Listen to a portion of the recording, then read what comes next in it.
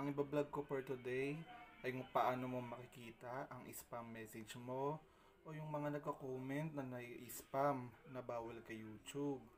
Ituturo ko din kung anong ida-download mong app para makita mo ang spam message mo at kailangan mo itong burahin.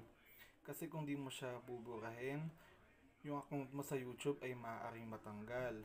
Kasi baka kalain ni YouTube na nakipagtulungan ka sa ibang mga vlogger. So, umpisahan na natin. Siyempre, sa umpisa, punta tayo sa Play Store. Na-download natin yung app na YT Studio o YouTube Studio. YouTube Studio, ito na ngayon. So, na-download ko na siya. May YouTube Studio na ako. Open na natin. Pag-open natin, punta dito tayo sa may ano. Tayo dito. Punta tayo sa may comments. Di yung dami ng comments. Pero di mo dito makikita yung mga spam comments mo. Dito, hindi dito yan. Punta tayo dito. Ito natin dyan, may makita tayong publish, held for review, likely to be spam. Siyempre, dito tayo pupunta sa may likely to be spam. No comment siya.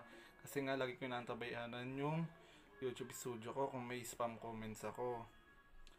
So, wala wala akong spam comments. Pwede na ako ma-monetize. Punta mo tayo sa may dashboard. So, pwede na ako ma-monetize sa YouTube. Kung makikita nyo, hindi pa ako monetize.